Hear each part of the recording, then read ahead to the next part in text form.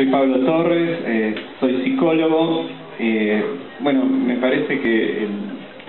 el, tema del Frente de Izquierda realmente yo lo veo como un logro. Eh, me acordaba de eso que decía Lenin, que, la, unidad multiplica, ¿no? Y, que, bueno, que los intelectuales, los docentes, este, bueno, nos agrupemos,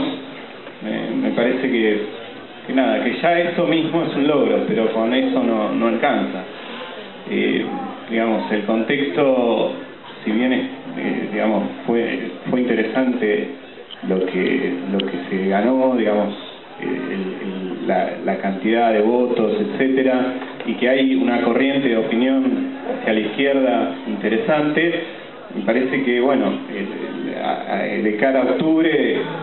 eh, hay que hay que profundizar eso que se logró ¿no? Eh, y que ese logro por ahí ir eh, armándolo en distintos lugares yo como soy psicólogo este, me parecía que,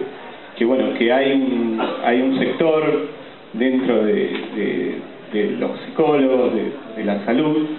que, que es permeable a, a las propuestas de la izquierda que con el cual podemos abrir un debate,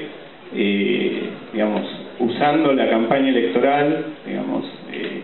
y bueno, y que hay dentro de, los que componen la asamblea de, ese área eh, referentes importantes, este, bueno, uno que conozco personalmente es a Enrique Carpintero, que es este, la revista Topía, pero que bueno, que él refleja a todo un sector, eh, me parece que también hay, digamos, dentro de lo que es la Facultad de Psicología, tanto los graduados como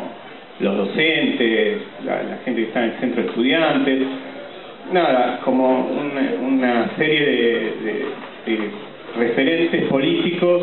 las corrientes, digamos, eh, que pueden eh, empezar a abrir un diálogo con, con estudiantes, con docentes, con graduados, y que bueno, me parecía que estaría bueno, y lo traigo como propuesta, eh, armar un grupo de trabajo, una comisión de trabajo, como se llame, que organicemos algo eh, que podría ser inicialmente en la facultad, pero después lo podemos ir viendo